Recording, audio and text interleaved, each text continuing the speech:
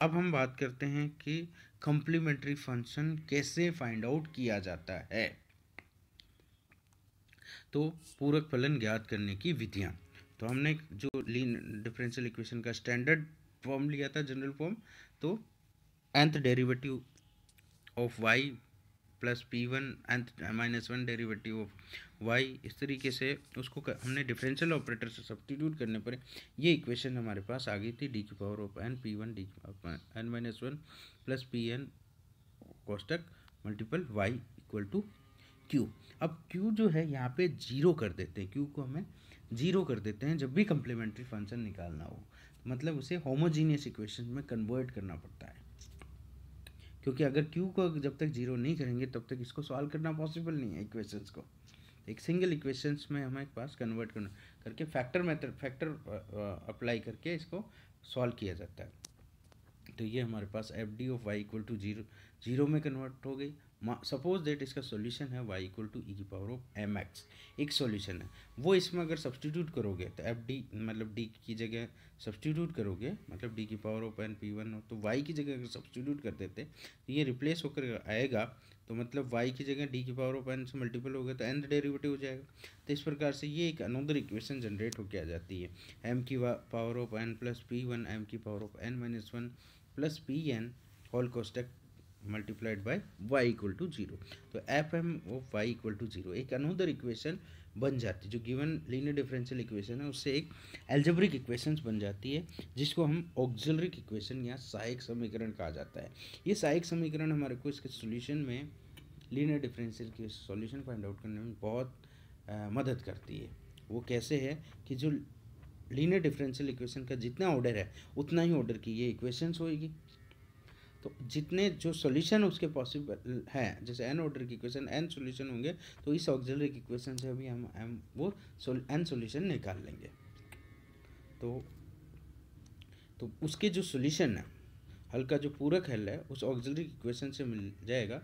उसके N moles हैं तो एन मूल्स इससे मिल जाएँगे। अब इसकी कुछ स्पेशल केसेज होते हैं तो उससे हमें ये सॉल्यूशन का हम नेचर पता कर पाते हैं कि वो सॉल्यूशन किस टाइप का क्या है।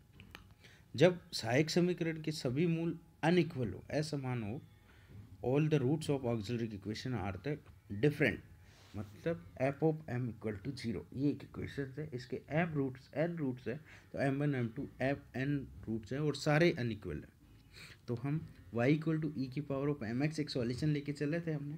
तो उसको एम की वैल्यू को M one M two M three से रिप्लेस करेंगे तो इस प्रकार से एन ऑर्डर की इक्वेशन तो एन सॉल्यूशंस हो जाएँगे, जो कि लीनियर इंडिपेंडेंट होंगे। तो वाई वन ई की power of M one X Y two E की power of M two X Y N E की power of M N X ये लीनियर इंडिपेंडेंट सोल्यूशन होंगे। और मैंने कहा कि जब लीनियर इंडिपेंडेंट सोल्यूशन है तो इनका लीनियर कॉम्बिनेशन भी सोल्यूशन होगा। तो Y equal to C one Y one C two Y two C N Y N ये एक सोल्यूशन होगा, जिसको हम कम्प्लीमेंट्री फ़ंक्शन कहा जाता है। तो इसको हम इस तरीके से भी कह सकते हैं कि वाई इक्वल टू ई की power of M one X इस तरीके से है। तो ये वापस रिप्लेस कर दे Y one Y two Y three की वैल्यू तो Y equal to C one E की power of M one X C two E की power of M two X plus इस तरीके से वाई सी थ्री ई की power of M one M three X on C N E की power of M one X तक। ये एक solution हो जाएगा। जब हम कह रहे हैं कि दूसरा केस देखते हैं कि सहायक समीकरण के मूल समान। अब कितने मूल समान हो वो देखते हैं। उसके भी डिफरेंट इंटर टर्म के केस आएँगे। तो when roots of auxiliary equation are same जब दो रूट समान हो मतलब एम वन और एम टू दो मान लेट सपोज़ दैट दो सोच लेते ना एम वन और एम टू दोनों इक्वल है। तो इस केस में हम उसको क्या करेंगे कि उनको ज्वाइंट कर देंगे एम वन और एम टू के दो सोल्यूशन को ज्वाइंट करने के लिए हमें क्या करेंगे? C one plus C two X दो सोल्यूशन का, दो आर्बिट्री कॉन्स्टेंट को ज्वाइन कर देंगे। तो C one plus C two of X और ई की power of M one X तो एम वन और एम टू दोनों का सोल्यूशन ज्वाइंट होकर के इस तरीके से हो जाएगा। C one plus C two X से रिप्लेस हो जाएगा। बाकी के सारे सेम रहेगा। इसी प्रकार अगर तीन सोल्यूशन अगर इक्वल हो गए M one M two M three तो इसके लिए C one plus C two X plus C three of X square ये कोफिशेंट यूज़ किया जाएगा ई की power of M one X solution के साथ। तो इस प्रकार तीन आर्बिटर कॉन्स्टेंट ज्वाइंट हो जाएँगे। इसी प्रकार से अगर समिश्र सॉल्यूशन हो जाए समीकरण के मूल अगर समिश्र हो जाए या कॉम्प्लेक्स सॉल्यूशन हो जाता है तो क्या करेंगे कि ई की पावर ऑफ़ एम एक्स लिखा जाता है तो एम की जगह एक, और हमें पता है कि कॉम्बिनेशन में आते हैं। जो कॉम्प्लेक्स सोल्यूशन है, वो पेयर की फॉर्मेट में आते हैं। तो एल्फा प्लस आइटा बीटा अगर एक सोल्यूशन है तो दूसरा solution alpha minus iota beta होगा। तो ये हमने एम वन एक solution alpha plus iota beta हो गया। तो एम टू हमने एल्फा माइनस आइटा बीटा लिया, और इसको रिप्लेस करके जब सॉल्व करते हैं ये हमारे पास ई सी सॉरी ई की power of alpha X C one cos of beta X plus C two sine beta X solution हो जाएगा। या फिर इसको हम इस तरीके से रिप्लेस कर सकते हैं। Y equal to C one E की power of alpha X cos of beta X plus C two या फिर इसको इस तरीके से भी लिख सकते हैं। सी वन ई की power of alpha X sine of beta X plus C two तो ये कॉम्प्लेक्स रूट अब कॉम्प्लेक्स रूट भी जब इक्वल हो जाए तो उस केस में क्या करें? तो केस फोर है when roots of the auxiliary equation are complex and equal जब सहायक समीकरण के मूल सम्मिश्र तथा समान हो जाए तो इस केस में जैसे हमने दो कांस्टेंट को हम ऐड करके लीनियर कॉम्बिनेशन में ले आते हैं, वैसे ही इसमें भी करते हैं। C one plus C two of X E की power of alpha eta beta X plus C three C four X of E की power of alpha plus iota beta X इस प्रकार से जॉइंट सॉल्यूशन हमारा ई की power alpha X cost X C one plus C two X cos of beta X plus C three C four X sine of beta X और इसका joint solution जो है, इस तरीके से हम लिख देंगे। अब हम कई बार युग्म की फॉर्मेट में भी सॉल्यूशन होता है, जैसे A plus root of B इस तरीके के सॉल्यूशंस आ जाते हैं।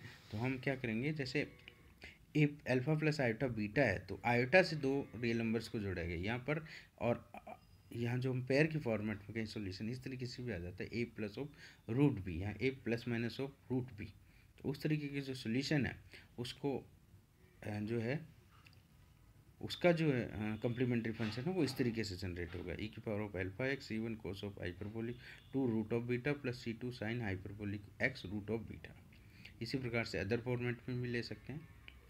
अब इसके कुछ एग्जाम्पल्स की हम बात कर लेते हैं। तो वाई का तीन बार डेरिवेटिव है minus three double derivative y with respect to X plus four Y equal to zero यहाँ क्यों ज़ीरो है ऑलरेडी ऑलरेडी ज़ीरो है तो इसका कम्प्लीमेंट्री फ़ंक्शन ही इसका सोल्यूशन कंप्लीट सोल्यूशन होगा।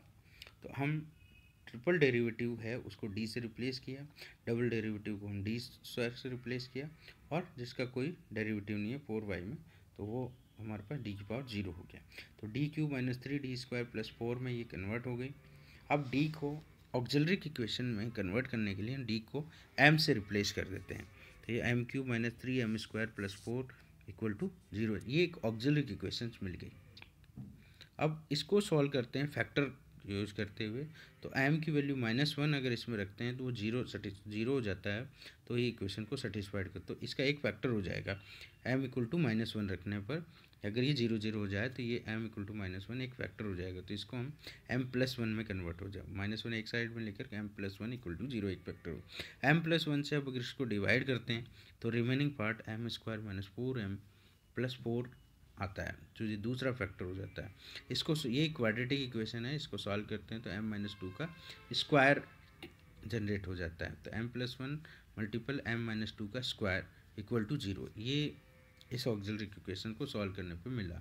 तो दो सोल्यूशन इस जो सोल्यूशन है वो इस तरीके से है M equal to two two two and minus one इसका जनरल सोल्यूशन आप देखो कि दो सोल्यूशन जो है हमारे इक्वल हो गए। तो इक्वल हो गए तो लीनियर कॉम दो कांस्टेंट जो है इसके लीनियर कॉम्बिनेशन के फॉर्मेट में कन्वर्ट करके सिंगल में कन्वर्ट करेंगे। तो C one plus C two of X plus E की पावर टू मल्टीपल ई की power two X plus C three E की पावर माइनस ऑफ़ एक्स तो एम की जगह टू आ गया और दूसरे एम की जगह माइनस वन आ गया.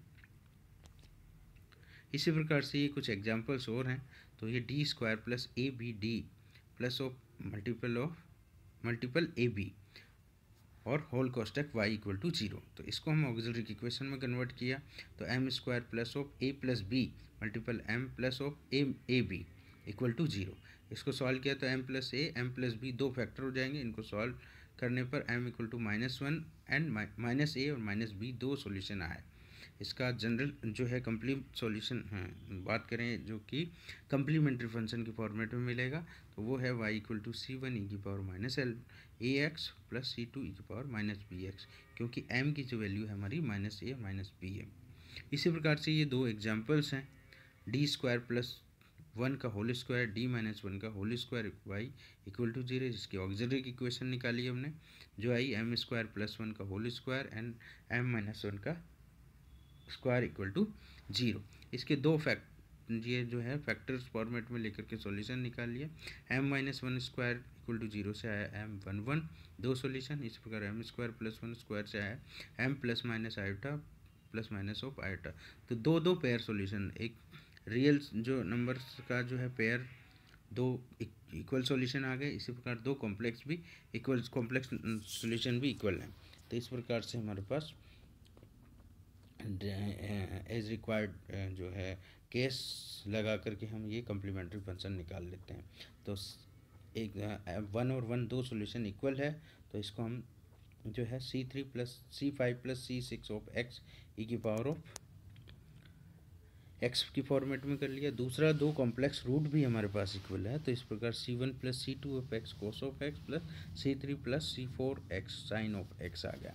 जो हम ये, जो हमने डिफरेंट केस बताए थे, उन केस को देख करके आप ये सॉल्यूशन निकाल सकते हैं। इसी प्रकार डी की power four plus eight D square plus sixteen Y equal to zero इसको अभी हमने ऑक्जलरी इक्वेशन निकाली और उसको सॉल्व करके हमारे पास सॉल्यूशन मिला plus minus two item plus minus दो दो कॉम्प्लेक्स रूट का जो पेयर है, वो सेम है। उसका यूज़ करते हुए हमने C one plus C two X cos of two X plus C three C four X sine of two X complementary function मिलता है, और यही इसका सोल्यूशन इसके ऊपर बेस्ट ये एक्सरसाइज क्वेश्चन है पाँच, जो आपको सॉल्व करने हैं, इसमें कुछ डाउट्स हैं तो आप मुझे मेरे नंबर पे